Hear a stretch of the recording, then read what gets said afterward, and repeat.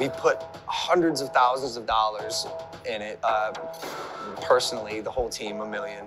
No, you didn't. Plus. We had a, No, you didn't. an issue with um, CryptoZoo, where our, our, our lead So this is developer. part three. uh, if you like this, took the make sure you hit that that like button. I'm gonna be doing a lot more reactions. Thanks for all being here. and like held And, it hostage um, for a million dollars. You never Smash that like button, subscribe if you want to. at all. Ever. Eddie promised me, you know, five This is part three. and a million dollars. You never, you never literally never paid me. This reporter says Eddie's entire story is fake. Leah, the biggest reason it failed, in my opinion. Dog, I'm not the bad guy here. Yeah, yeah, There's some It's hard to. It's hard there. to. yeah. And I'm, it's not me. Like, I'm here to build. It's hard to pin like pin the blame on someone because it's all like they're all. welcome to part three. So far, we've discovered fake orphans, millions of dollars stolen, and a cast of sleazy characters. That's but what I'm now, saying. Like they're all it's time to sleazy. Put it all together. What is the truth? And who's to blame? We're going to start by going through leaked text messages of the CryptoZoo team to understand all of their motivation. Then we'll go to blockchain evidence and show who sold what. And finally, we'll confront some of the people responsible. But before we can do any of that, Let's do it, we coffee. to start in March of 2021, six months before the token even launched.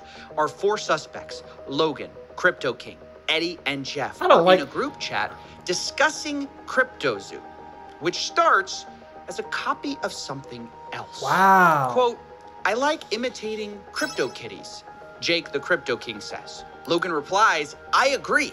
And initially, it wasn't called CryptoZoo at all. It was called Crypto Pets, and they were going to sell a Pets token. And pretty early on, it became clear this was all about money, how they were going to sell this thing to investors. Wow. In fact, Crypto King said he thought it was worth at least $20 million in only six months, saying the range is insane. 20 to 210 million. I don't like It's them. They're all shady. Wherever we land. Eddie jumped in at this point and talked about how he could sell the project as an investment to a friend, Matt Higgins, saying, quote, he has to spend that $350 million somewhere. Why not us? And Logan says, I love All right, so it's a lot to take in here. Um, I'll probably edit this out the video, but what? Like I'm just. Com- idea. Crypto King, I'm in. And of course, you have Jeff saying, let's, Let's go. go. So you can see right there, they wanted to sell this game before it had even launched. it's all money. Now later, Eddie amends the list of investors and says, quote, investors will be Gary Vee, Todd Morley, James Altucher, Ryan Kavanaugh, and others confirmed on my end. Supposedly, they had a $100 million of investment interest. wow. Now, I actually went to some of these investors and asked if this was true, and no. The one person who responded denied it, Ryan Kavanaugh. Quote, nope, not even a little bit.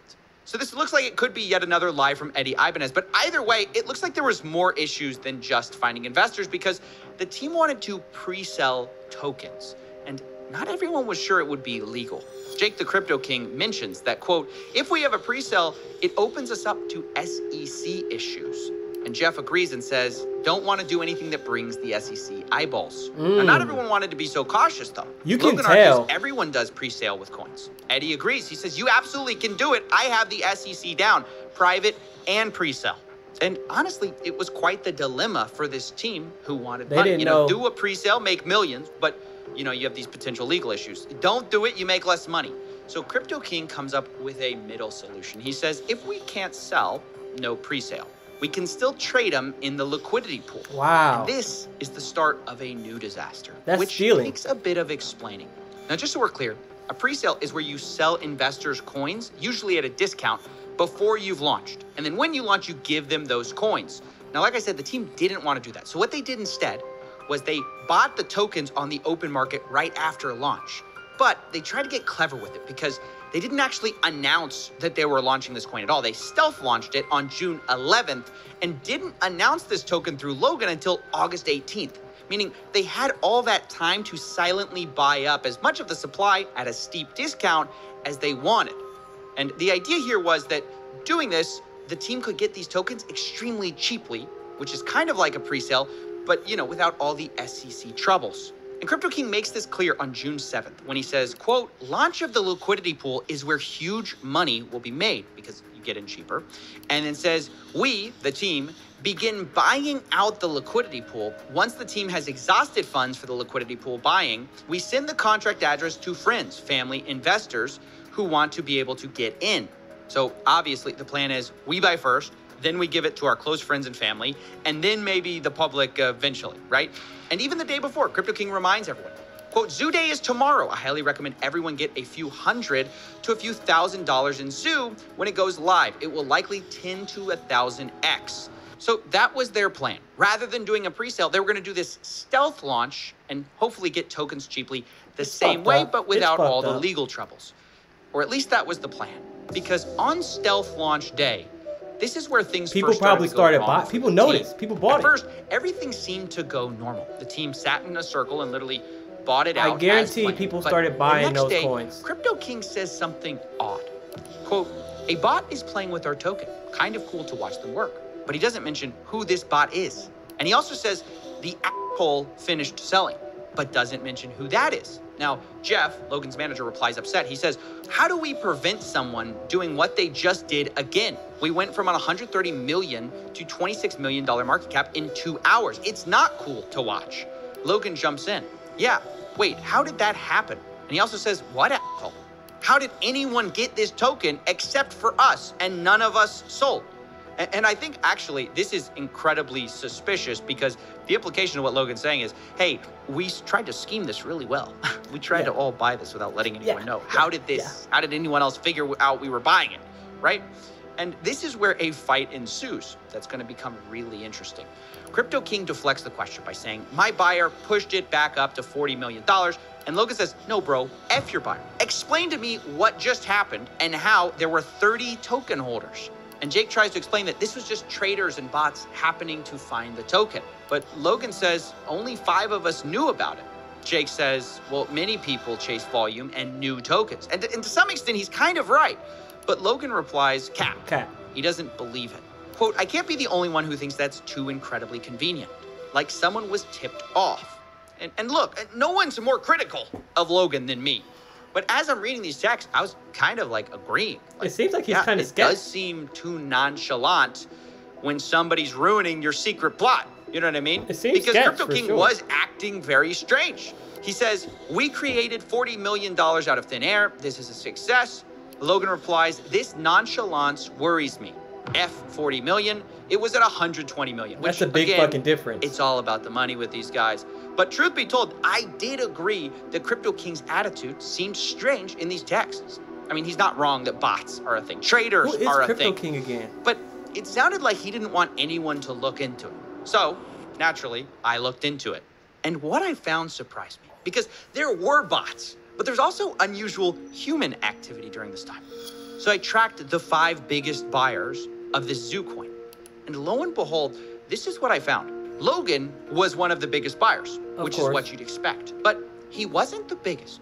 In fact, two of the biggest wallets seem to be associated with Crypto King himself.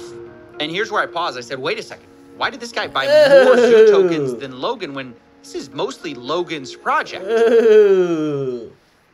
That kind of that that kind of changes that changes a lot of things because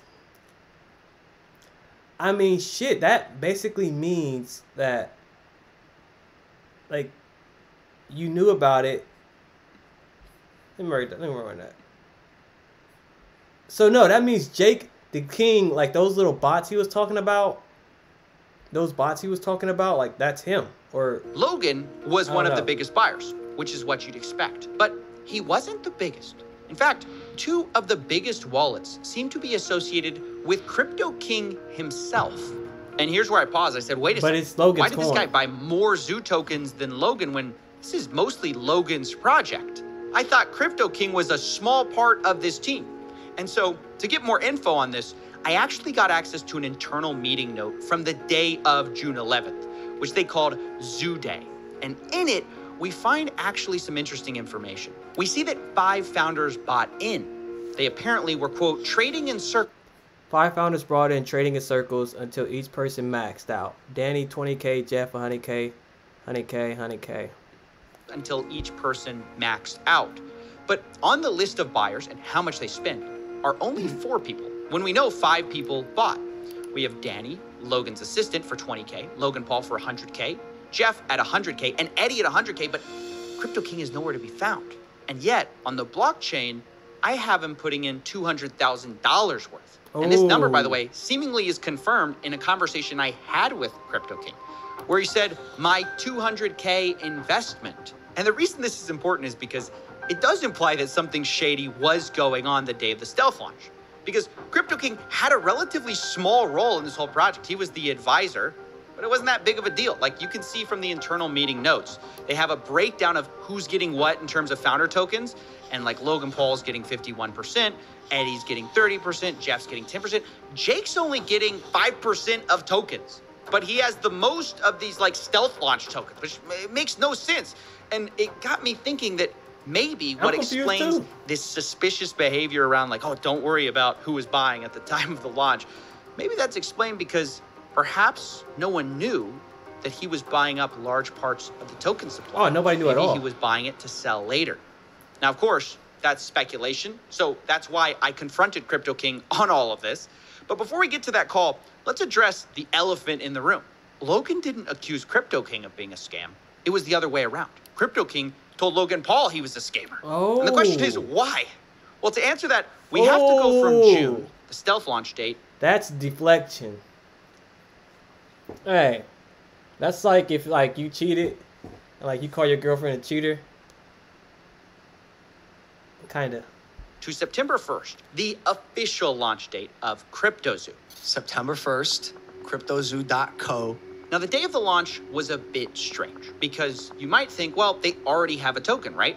But the first thing they did was actually create a new Zoo token with a different code, but the same name. And they actually airdropped all the holders of the first Zoo token with an identical amount of those coins on the second Zoo token. So you might be wondering why on. did they do that? Well, maybe it's to change the smart contract, but maybe it's because of what they did do. They blacklisted some of the holders. In other words, they didn't airdrop to everyone, including Jake the Crypto King. They excluded his wallets so it couldn't get these Zoo coins. Jake texts the group about this the next day, saying, quote, there's a do we think major they- error this weekend. They chose not to communicate, mint a new token, and airdrop it to whatever wallets they determined fit. This decision came from Eddie and Logan, and I had no part in it. 11,250 wallets before the airdrop, under 11,000 after. They chose to blacklist and ban over 200 wallets. Now, who those wallets are, I have no idea. But he continues, quote, as a founder like Logan, Jeff, Eddie, and Danny, I had purchased a large quantity of tokens. Five plus of my wallets had been blacklisted from the original team's buys. Now, I don't know why he had five, five plus wallets there, but okay, okay. He says 80 plus billion zoo tokens were confiscated from me today without any communication. So, wow. That's why Crypto King accused Logan of stealing from him or scamming. It's because he was frozen out of a lot of his wallets. Then we get to the text you guys all know. He says, Logan, you stole $40 million. You're a scammer. You're a con artist, all that stuff. You betrayed your community. The reality is, you aren't that guy. And Logan responds, Oh, Jake, trust me, bro. I am that guy. Q in the arms of an angel. And, and look, I mean, what do we make of this? Well, I, I, I don't know. I can't root for either of these guys because it sounds like Logan stabbed him in the back, but it sounds like Crypto King may have stabbed him in the back in the first place, right? Uh, because it does appear like he bought tokens that maybe everyone They're didn't both in the wrong. about. So I'm really not a fan of anyone in this situation. And by the way, th- this whole thing was structured so misleadingly from the beginning. I, I have to talk to you a bit about it because you might think that these tokens were the only tokens they had, but it's not even true.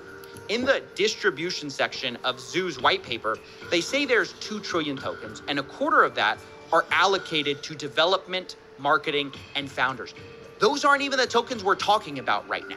Because they claim that those tokens were locked up for six months and then afterwards 10% was unlocked every month. And if that's true there would be no reason for these funds to be blacklisted right?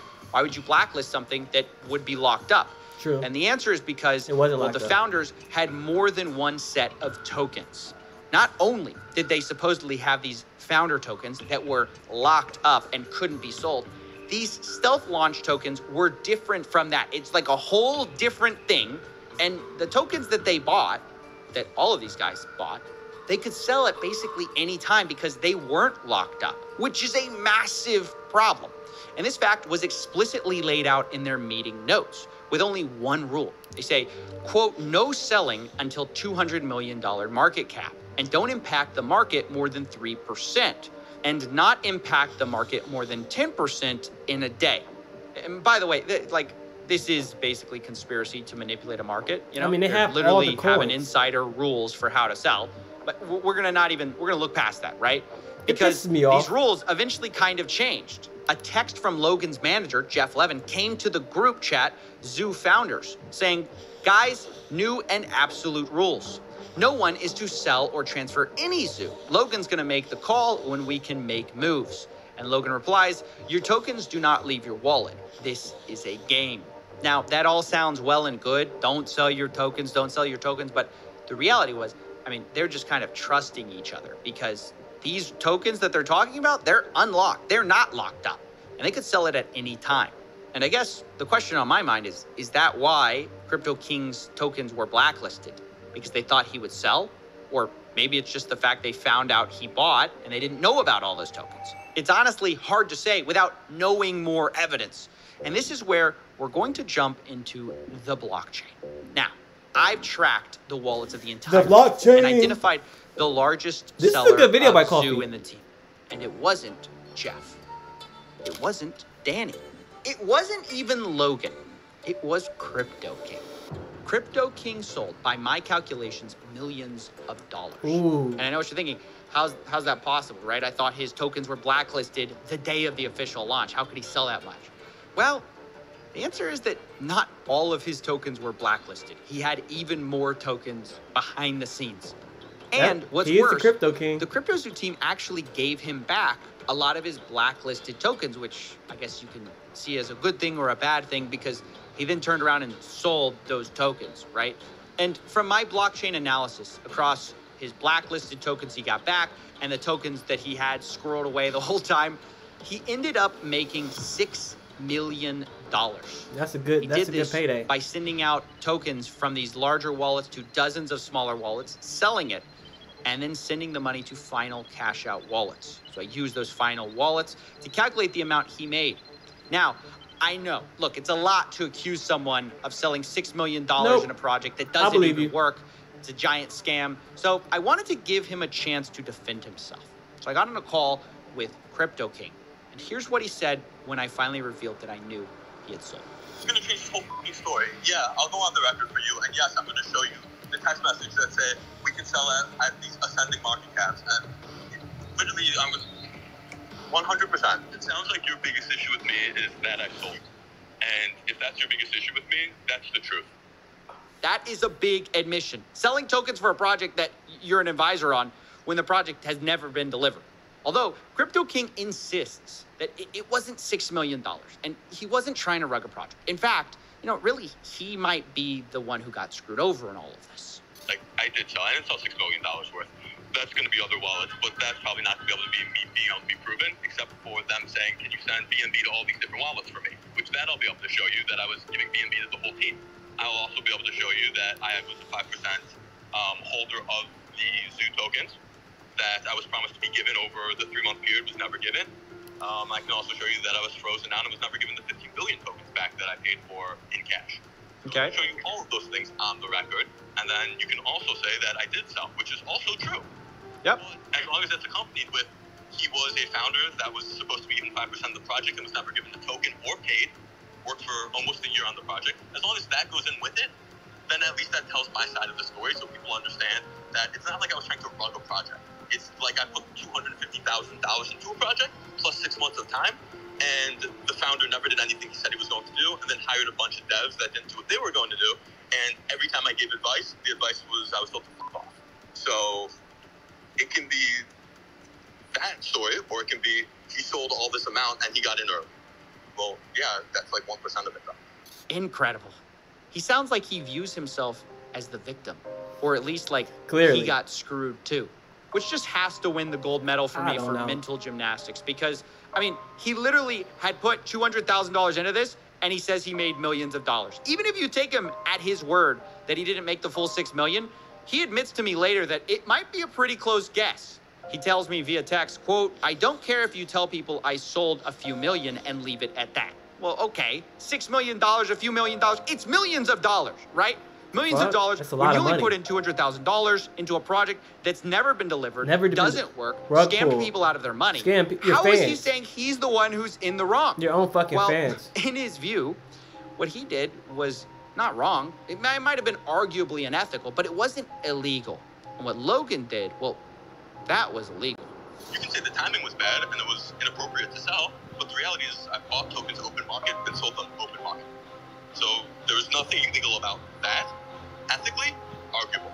The rest that Logan did to me was ethically wrong and illegal. Now, what do I think of all this finger pointing? Well, I think it's pretty wild to try to make yourself look like the lesser of two evils when you made millions of dollars and investors what the millions. fuck? I just do. It's easy for Now, for at the same to. time, I, I want to be fair to Crypto King. He's not the only one who sold here. But I also have to say, not everyone from the founders did sell. For example, Jeff, Logan's manager, to my knowledge, never sold. Neither did Logan Paul, which was a huge surprise. All their wallets that I tracked, you know, held on to their tokens, which is good, and, and to their credit for a game that doesn't work. But you know who did sell? Eddie Ibanez. The guy who didn't pay the initial devs, the supposed MIT orphan. Yeah, I would have sold. from what I too. could see, his initial wallet got a ton of zoo, sent it to a bunch of smaller wallets, and then sold off, kind of like Crypto King. And for my calculations, he made about $1.7 million. Ooh, that's a now, good payday. I have to tell you that, like Jake, I tried to confront him and give him the opportunity to defend himself, but he never replied to my emails or my phone calls, and we're just gonna have to leave it there. But we're not done with the money just yet because we still need to talk about the eggs. Remember, we talked about how they profited from Zoocoin, but they also made millions from eggs. According to their own internal meeting notes, they plan to make about $3 million selling these eggs for 0.1 ETH apiece. And that's not far from what I calculated they actually did make, which was about $2.5 million.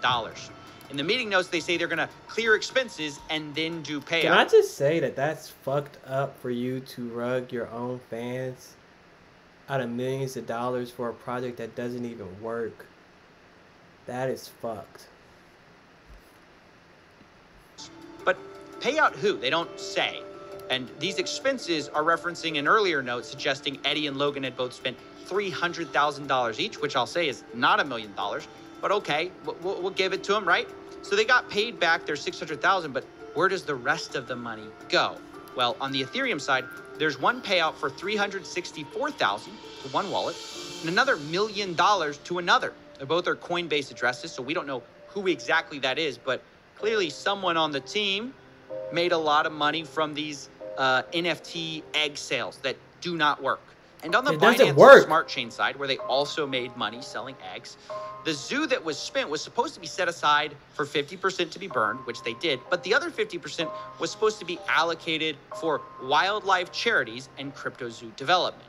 Now, neither seems to have happened because all the money is in a wallet that the team still controls. So there are open questions about, you know, where that money is going to go and where the Ethereum money went. Did it go to Jake? Did it go to Logan? Did it go to Jeff? Did it go to Eddie? We don't know.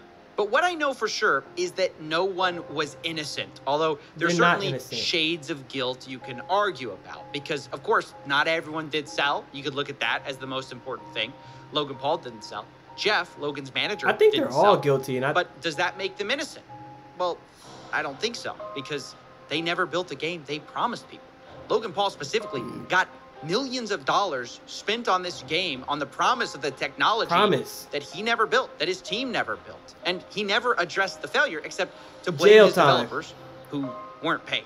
And you could say he promised to Jail work backwards time. to fix it, but then never did. But at the same time, it's clearly not just Logan's fault either, because there are major team issues, right? You've got Eddie selling millions of dollars of Zoo and then allegedly not paying developers. You've got Jeff, who was warned about Eddie, who kept him on the team anyways. And then after they fired Eddie, seems to also have failed to pay developers on time. And then you've got Crypto King himself, who sold the most, but claims he was the guy who was scammed, which is the stupidest thing I've ever heard. It's just like Avengers Assemble for the worst possible team you can imagine to build a crypto gang. And so, unsurprisingly, it turns out a lot of these guys backstabbed each other. And so, finding a way to wrap this up was difficult because it's hard to assign exact proportions of blame. Because if you focus on any one person, you kind of miss why this project failed. CryptoZoo, at the end of the day, did not fail because the price went too low. CryptoZoo failed because they never built a functioning game that they promised. Really, the number one problem, even bigger than people That's selling true. millions of dollars of tokens, was that they never paid the developers on time. As boring as that is. And as a result, the investors not only got rugged for millions of dollars, which is a problem, but they just didn't get the core thing they had bought from the beginning, which was not a crypto project. That should be jail time. but something different. I'm excited to launch uh, to launch my game. You keep using a, and you just did it again. You keep using a word there. Game. You're not using like a project. Mike too. Get his It's ass too. It's a game. It's a really fun game that makes you money. That's it. That to me is the biggest scam in all of this. I Yes, agree. it's a huge problem. People stole millions of dollars, but it's a symptom of the larger issue, which is people didn't actually care about the game or this, whatever you want to call it. They just cared about the money. And this is ultimately what happens when you have an influencer LARPing as a businessman. It's what happens when you have a liar LARPing as a developer. And it's what happens when you have a shady crypto guru LARPing as a crypto king. You end up with a mess. And in my personal opinion, a fraud as well. And now that this thing blew up in their faces, these four seem to be dodging accountability faster than SBF dodges calls with me. because I have reached out to everyone involved, tried to get all of their statements on things. So far, no one has taken accountability. I like or the way offered Coffee to ended refund this. the victims at all. They're all hiding, pretending these victims don't even exist. But they do exist. And throughout my investigations, they've been the heartbeat of this whole thing. So I decided to close this investigations in a bit of a unique way. Rather than me deciding who's to blame or me deciding what you should think, I want to give them the last word. Ooh. Everyone, everyone's to blame. Uh, Logan, in the sense of his, his poor management, is his project. He still made these promises to people. I think everyone it is to blame, including Logan Paul, of course, because he was the, the one in charge of this and he was responsible for all, the, all of this mess. everybody has a, a big part and a massive, massive cross to bear. Each one of them scammed the project in their own way, and then and then off off to the sunset they went. It was his job to check the team to make sure that everyone is working together, to make sure that he is giving the funds of the people that put it into his project under his name to people that he actually trusts. So, in my opinion, if the team failed to perform, that's Logan's fault. Logan Paul to blame. The community is destroyed. People is angry. They just want their money back. They just want Oh, you can forget about that their money. uh, normal lives back. Reimburse reimburse those loyal fans that they have, or how to rebuild the project, actually deliver on the project. For those who are still holding their eggs, like I am, for those holding the, the Yeah, del- coins, so deliver the fucking project. Deliver what they promised, and that would give some redemption to this fiasco. What the fuck? He's fuck? not said a word. That's that's that's as that's as bad, or almost as bad, as taking the money. It's the not coming out and just being a man about it. I think, you know, that guy just made a really good point. You know, it's the not saying nothing and just kind of brushing it off, brushing your fans off, just kind of brushing it off as if nothing happened. When you rug these people, I mean, We deserve to know what was happening behind the scenes while we were waiting for almost a year and a half. The fact that we're hearing this information not from Logan Paul, but from pretty much an investigator, it really says a lot. What did this loss mean to me? It meant a about lot. heat me up a pop Not just personally, because I lost uh, quite a lot of money. My kid and also my my wife were invested. It was like uh, telling a kid that Santa doesn't exist or something like that because she really believed in all that game. I mean, Uh, you she know, really believed in Logan Paul. Some of Kids these people up to probably that kind of invested people. tens of so thousands of dollars. It was some kind of broken dream. My mother got my mum. My mum was Which is invested. sad. My sister was also invested. So, I mean, Because my daughter you even had think a couple you can of the, trust the eggs and animals, which the, the loss for them hurts the most because obviously it's just not nice. and they kind of just run off with somebody millions. to win, somebody has to lose. That's a gamble you take, whether you get into crypto or not. I got in knowing that I could lose, which is fine. That's on me. But I thought if I lost something, it would be because I sold at the wrong time, or the game didn't earn as much as I thought it would, and therefore He didn't even have a weren't valuable. chance. But I never, you never go into it thinking it's not a, not something that they're going to just sell out from underneath you because they could make so much more if they actually delivered on If what they they said. actually Even if they delivered. delivered on close to what they said. And that's the thing is, you don't think they're going to rug you because there was so much money in a game wallet. ultimately at the end the way i see this it, it was fraud. Logan could have could have put out the red flags told people to stop investing more into it because people were inve- people are still in, were investing into this project until the le- very last minute where, where the ship was still uh, just just sinking down the ocean and people were still putting their, their cash into it. If I was on a call with Logan Paul, I would ask him where did his redemption arc go. I think he was on a, such a good streak going about his YouTube career and boxing as well. And it's sad to see that because of money, once again, we have degraded down to stealing from his viewers. What would I say to Logan Paul and his team if I could? Well, actually, I I could because I have an NFT from uh, from other project that gives me the right uh, to see Logan Paul, to meet and greet with him, and I will actually use that right uh, to tell him this story again, show him this video in front of me, and see how he reacts when he sees that my family, my whole family, and my Great kid video are affected with this situation. Great video Coffeezilla. Because I think that's not human. You would think that Logan would have would have told his fellow followers, his loyal his loyal fans that hey guys, back off. Red flag. Things things are things are there's turbulence in the water. No, not a single not Oh a no, he single kept word, going. Nothing. He doubled down. to market products at children and knowing full well that his team is made up of people that he believes are shady characters. Yeah, he still goes on Forbes interviews and says the game the game is great for kids. It's gonna it's gonna be amazing. He loves it most? The kids. Hmm. Their kids love it. Our developers' kids, all of them, cannot stop playing the game. It's not a game. It doesn't work. Inhumane the way that that side of it's been marketed. knowing what's happened since, knowing that all of the people that were there from the beginning, like all of the guys that I'd speak to on, um, on a daily basis, that we, we've all just got nothing now. Ideally, I just want to say I'll see you in court. For real.